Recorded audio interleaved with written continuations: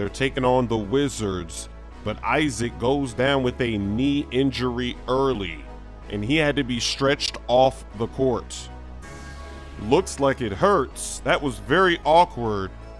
Take another look, or maybe you don't want to take another look. It just kind of twists. Woo! So they had to stretch him off the court. Very sad. And then, of course, both teams had to continue to play after seeing that. Bradley Beal.